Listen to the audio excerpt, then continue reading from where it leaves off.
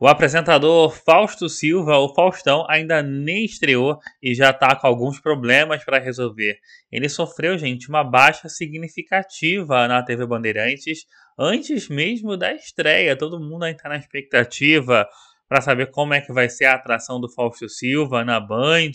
E pouco antes, né, porque a estreia estava prevista para janeiro, veio essa informação que com certeza deve estar tá mexendo com o Faustão e com todo mundo da equipe dele já já todos os detalhes para você. Antes, um recado rápido. Esse aqui é o TV News no ar. Não esqueça de se inscrever aqui no canal. É rápido e fácil. Basta você clicar no botão vermelho da inscrição. Quando você se inscreve aqui no canal, fica por dentro das últimas novidades. Gratidão. Fausto Silva, né, tá na expectativa da estreia do seu programa.